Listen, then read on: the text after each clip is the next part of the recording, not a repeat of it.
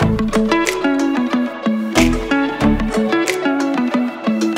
guys, uh, welcome to the vlog. So this vlog um, is kind of different.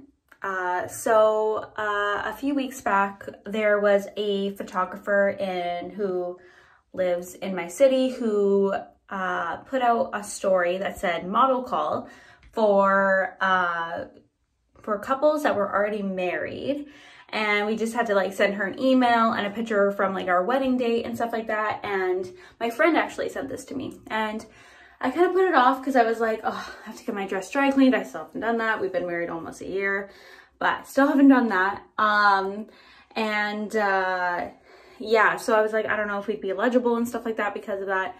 But then I I told Zac about it and he was like oh you should email and just like give it a shot and it turns out we were picked. The uh, photographer emailed me and said she wants us to be her models for uh, kind of this marketing shoot that she's doing. So there, I need to clean my dress. I called the dry cleaners and this was like, when I got the email, it was a week away from the photo shoot, like it's happening this week. And she, and they said it takes like five to seven business days to get the dress clean, which I, we didn't have that time. So, and it's also really expensive dry, uh, dry cleaning your wedding dress. So I'm just gonna try to hand wash it. And I'm watched some YouTube videos, looked up lots of like blogs and stuff like that. So I kind of think I know what to do. My dress is not extremely dirty. I'm gonna show you it here. So this is my dress here. It's quite long, but so the, the bodice is fine. Like I'm not gonna be cleaning any of this because it's not dirty in any way. Um, there's only a few really stains. Like there's this ink stain right here that I need to try to get rid of. And then there's like this kind of stain at the back. I'll try to turn this around. So I think it was because, oh yeah, it's down here. I don't know what this is from, but it's on there. And then of course the bottom is dirty. So I'm gonna try to get this out. Kind of what I read on the internet is what you need is you need like white or clear hand soap. Um, to get rid of ink stain, so that one stain in the front, you use rubbing alcohol and uh, like a cotton, said cotton pall, but I only have cotton pads, so we're gonna, I think that's like kind of the same thing.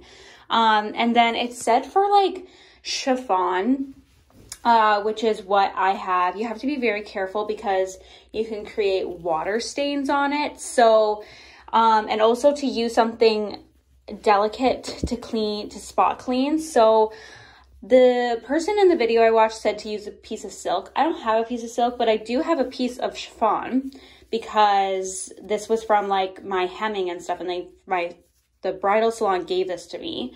Guess I guess because you you technically buy the whole dress, they give you everything back. So I thought it's and this is just to be like more gentle on the fabric. So I think this would be fine. So I'm gonna try that. Um, and also you need a blow dryer to blow dry it. And to blow dry when you have a stain on your chiffon, so the first layer here to like go outward in to dry it so you don't have any water stains. But I think the first thing I'm gonna start off easy. I'm gonna like separate the chiffon layer and then do the bottom that is not chiffon, so like the inside there's like a bunch, and like if there's a water stain on that, it really doesn't matter because it won't show. So I'm gonna do that first. That's why I'm in my bathroom. I'm gonna do it in my bathtub and see how we're gonna do this. I'll try to set, the, set up the camera so you guys can watch like a little time lapse. But yeah, let's try to clean this big dress.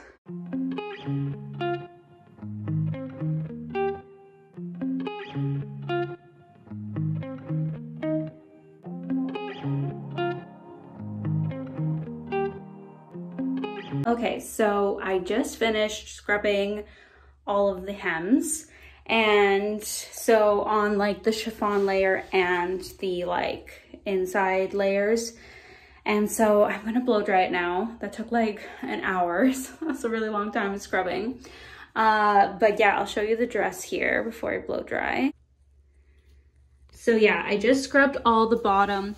I didn't get everything out, like, like still definitely a little gray. I'm hoping like once I dry it, it will be less gray, but the way I think of it, it's the bottom. Since we're gonna be going for this photo shoot, it's all gonna get dirty again anyway. I'm more concerned about like this little spot here that I still have to do and the spot on the back that I showed you earlier. So I'll show you that after. I just wanna dry this first so that there's no water stains. So yeah, let's do that.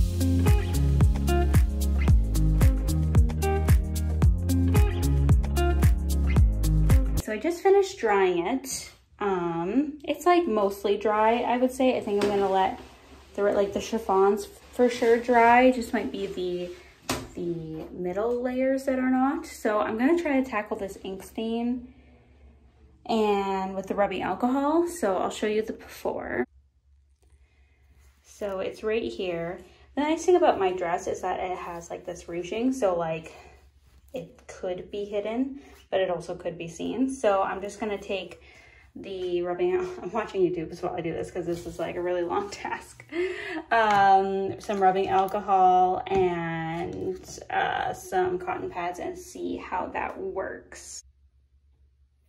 Okay, so I just rubbed the ink stain with the rubbing alcohol and you can kind of see the stain, like the liquid stain there now, but all of the ink is gone. This is what the cotton pad like looks like and I just like dabbed it was super gentle and it came right off which is amazing and uh yeah so i'm gonna blow dry this i think i forgot to mention i've been blowing i've been uh while i'm using the blow dry i'm using like the cool air like if you have that setting on your um blow dryer that's really important uh just like not a heat dry so yeah i'm gonna dry this and hopefully this like water stain goes away but i think it will all right, so this is what it looks like. I just dried it.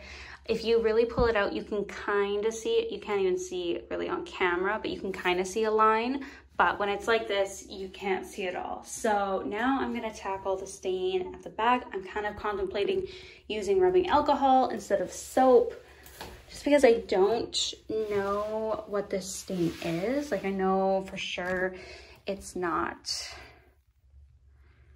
um, ink, but who knows, like just some kind of marks.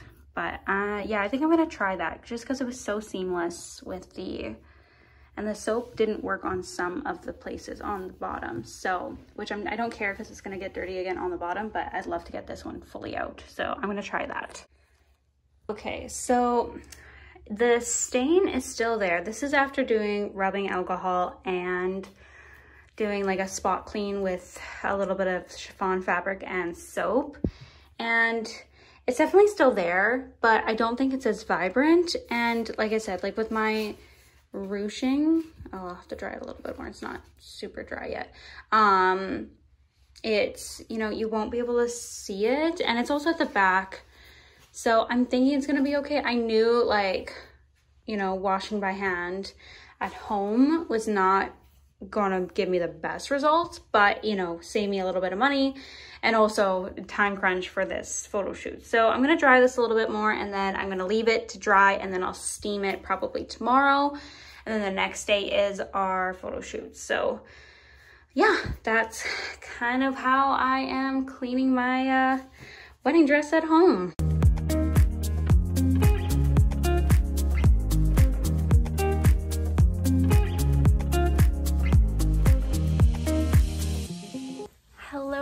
Guys, uh, today is Wednesday, so this is continuing off my uh, clips that I did of cleaning my wedding dress because today is the photo shoot day. I'm so excited, a little nervous because like I've never, apart from my wedding, never really been like photographed before and even our like photographer for our wedding uh wasn't like wasn't technically a professional. She was like our friend who um was like picking up like kind of as a hobby like photography. So um yeah but it's gonna be really fun to like experience being photographed by an actual photographer today. And so i steamed my dress today. I had like a little clip of that. I didn't I had to hang it on my, on her front door, like on the hinge because it's just so long that like, cause a lot of it drapes on the ground. Um, so to get like as much as I can uh, of the length to steam it because mostly it was the bottom that needed steaming. So I finished that. I, and then I just curled my hair. I did the same curls I did in the Get Ready With Me. She said, uh, the photographer asked if I could do my own hair and makeup, and I was like, yeah, I'm fine with that as long as you don't need a crazy updo because I cannot do that. And she said, yeah, uh, simple curls is fine. So I did that. I'm letting, gonna let them cool until I let them out. We still have like quite a bit of time. It's 4.39 right now and we're not going, the shoot doesn't start until 7.30 and uh, it's an hour away from where we live. So we'll have to, I have to eat and like put my makeup on and stuff and all that jazz. But today has been a really productive day. I was kind of feeling meh yesterday, like my stomach was kind of hurting all day and I wasn't really as productive as I wanted to be. So I wanted, but so today I really wanted to get a lot of things done and I did. So I want to show you guys my to-do list uh, because I'm really proud of myself. So kudos to me. So I have my iPad here and the way I like to plan is I use this app called GoodNotes and then I just made this like kind of outline like all that you see in black I made as an outline on an app called Canva. And so uh, I only had this on my to-do list, but I had like, my to-do list is kind of here as well. It's just like scheduled. So yeah, so like as you can see, I had my workout, I showered, I did some work uh, on some math for uh, for next year. I steamed my dress, I had lunch, I did my nails. I, uh, uh, this, uh, Unpack Your Impact is a PD book I'm working on right now. I did some skip counting activities and then I forgot to check it off, but I did do my hair. And yeah, so I'm like kind of killing it today.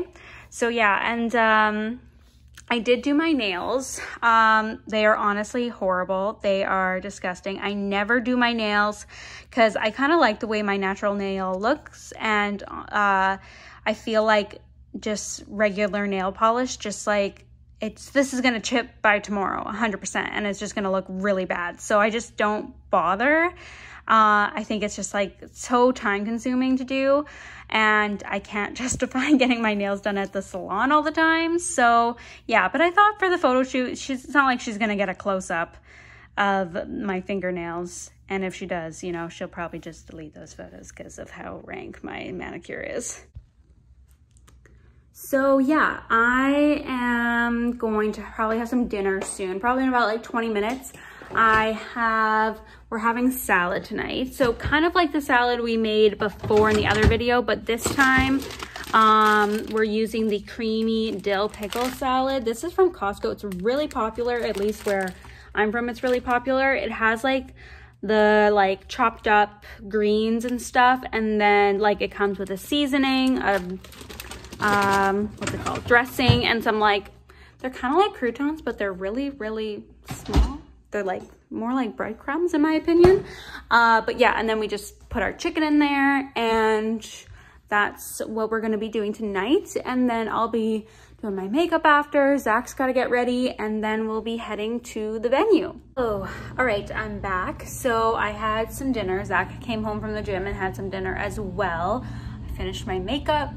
I, you know, did my normal face and then kind of just went a little extra with the eyes. Um, and I like how it turned out. I don't have my lips on yet because I'll do that before we leave and stuff.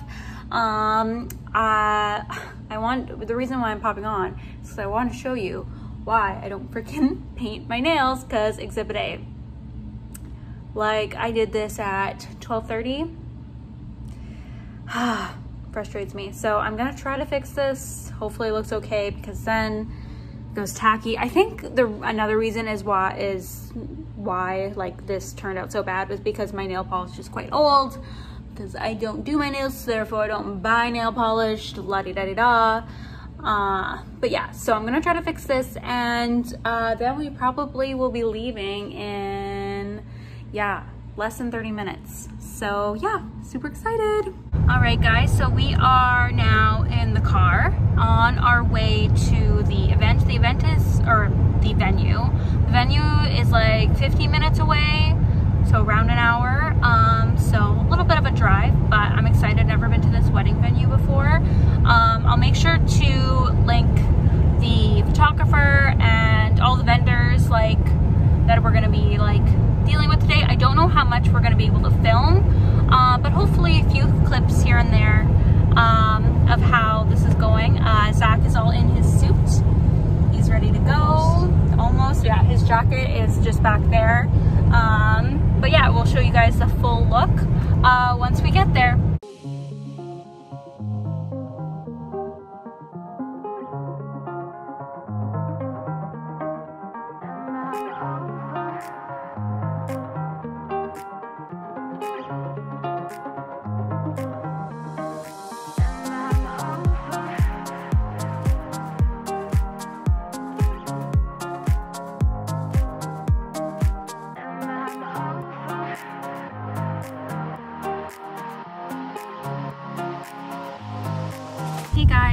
Just finished up with the shoot. We're driving back now. Um, it was super fun. We didn't get a lot of clips because, um, I mean, I could have my phone on me because I was wearing my dress and like Zac um, couldn't hold it in his pocket because it would show up in photos and stuff. So we couldn't get any really footage, but it was okay. It was good to be in the moment and the photographer was amazing.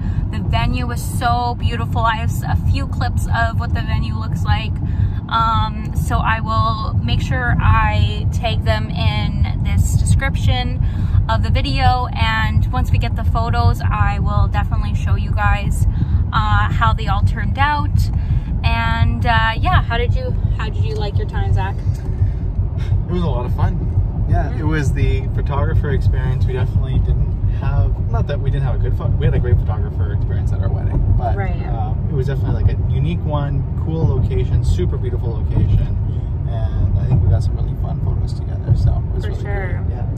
Yeah, so if you live in uh, Winnipeg, uh, Manitoba region, like definitely look up uh, the photographer and the wedding venue. Amazing vendors. Um, Yeah. And uh, yeah, so we are going to end the vlog here. Uh, thank you so much for watching. And uh, if you want to see more from us, make sure you subscribe and put on that notification bell so you never miss a video from us. And give us a like, Smash that like button. smash it. and we'll see you guys soon. Bye. Bye. Yeah.